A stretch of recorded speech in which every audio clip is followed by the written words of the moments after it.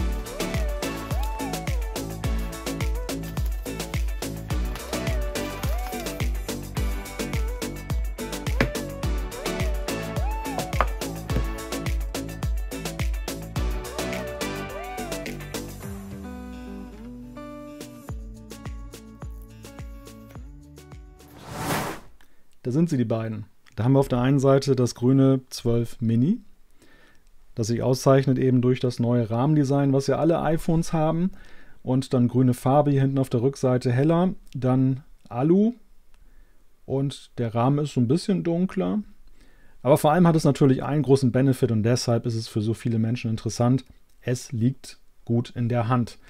Es ist ein Handschmeichler. Das ist ja auch der Grund, warum das SE immer so überaus beliebt war. Und ja, das merkt man gleich ab der ersten Minute und der Bildschirm wirkt überraschend groß. Das ist eigentlich der Moment, wo man jetzt gleich mal dann den Vergleich zieht, nämlich zu einem Bekannten, den wir im Frühjahr kennengelernt haben, als da wäre das iPhone SE. Und ja, wir sehen, das Mini ist sogar noch ein wenig kleiner als das iPhone SE und trotzdem hat es vom Bildschirm her mehr Fläche. Also das ist überaus faszinierend und äh, ja, das macht Geschmack auf mehr. Dann haben wir zum Zweiten das größte aller iPhones, das Pro Max. Habe ich hier in Pazifik Blau einen Farbton, der mich auch schon die ganze Zeit neugierig gemacht hat. Ihr wisst, ich habe mit dem iPad Air nicht die besten Erfahrungen gemacht, was Blau angeht, denn da war das Blau ja eher so, dass es gräulich war. Und ähm, naja, hatte ich mir ein bisschen mehr von versprochen. Hier muss ich allerdings sagen, erster Eindruck gleich super. Richtig schöner, satter Blauton, der allerdings je nachdem, wie das Licht drauf scheint, eben auch dann leichte Veränderungen mit sich bringt. Also Schattierungen bietet. Mal heller, mal ein bisschen gräulicher, mal dunkelblau. Sehr spannend. Also sehr, eine sehr schöne Farbe. Übrigens, das äh, Mini hat 5,4 Zoll von der Displaygröße. Das riesige iPhone 12 Pro Max hat sage und schreibe 6,7 Zoll. Noch da haben wir so einen Referenzwert, falls ihr mal eben, falls ihr noch so ein Gerät zu Hause rumliegen habt. Ich habe hier nämlich noch ein Plus-Modell rumliegen. Und wenn wir das mal so draufliegen, stellen wir fest, ja, das äh, Pro Max guckt so ein bisschen ein paar Millimeter rüber, aber ansonsten ist es vom Footprint her erstaunlich gleich groß. Also es ist jetzt nicht irgendwie so, dass es ein Kracher ist, den es noch nie gegeben hat. Das ist sehr erfreulich und trotzdem haben wir natürlich mehr Bildschirm, weil kein Rahmen. Also das gefällt sehr gut. Und auch da bin ich auf den jeweiligen Test eben gespannt. Ja, und dann können wir natürlich noch einen jemanden dazu holen, das iPhone 12 Pro. Das gesellt sich dann im Vergleich, wir sehen das hier, mit seinen 6,1 Zoll merklich größer als das Mini und merklich kleiner als das Pro Max. Also auch eine interessante Zwischengröße. Es gibt einige Punkte, die wir jetzt schon kennen vom iPhone 12 Pro, wo ihr euch zum Beispiel auch die Rezensionen angucken könnt, zum Beispiel den Test, den es hier im Kanal gibt. Dazu zählen der A14-Chip, was kann der, wie gut ist der. Dazu zählt 5G, der Mobilfunk. Dazu zählt MagSafe, die Möglichkeit, Zubehör anzudocken. All das wird natürlich auch Gegenstand meiner Testberichte sein. Gleichwohl kann man da schon sehr viel drüber wissen zum jetzigen Zeitpunkt und auch getestet wissen.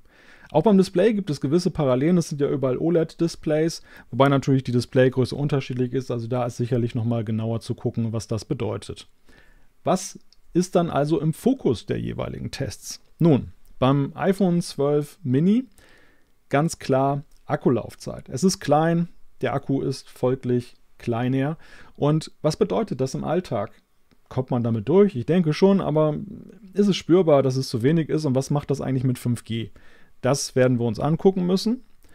Gleich, gleichfalls natürlich auch die Frage, so von der Größe her, wie ist das mit Apps? Ähm, ist, das, ist die Einhandbedienung, rechtfertigt die, dass man kleinere Apps äh, oder App-Anzeigen dann hat? Also sicherlich auch eine spannende Frage.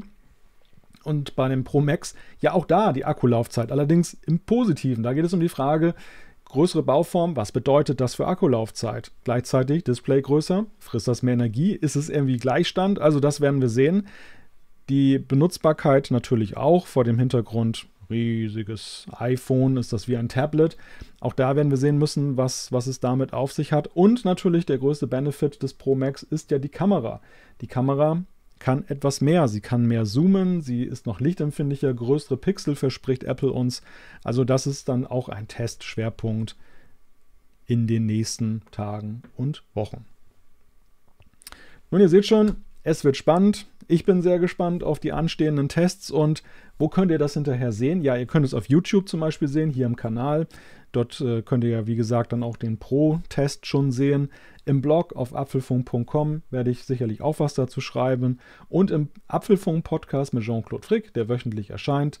Dort sprechen wir natürlich ausführlichst darüber. Wir haben ja glücklicherweise auch beide dann die Möglichkeit, die Geräte zu testen. In der Zwischenzeit schaut euch gerne schon mal die Reviews an, die bislang erschienen sind hier auf dem Kanal. Hinterlasst ein Abo, dann verpasst ihr kein einziges Video. Gebt ein Like, wenn euch das Video gefallen hat. Gebt Kommentare, wenn es euch nicht gefallen hat. Fragen, Anregungen. Immer alles gerne gesehen und sofern es die Zeit ermöglicht, beantworte ich sie auch gerne. Für heute bleibt mir eigentlich nur zu sagen, Tschüss von der Nordsee.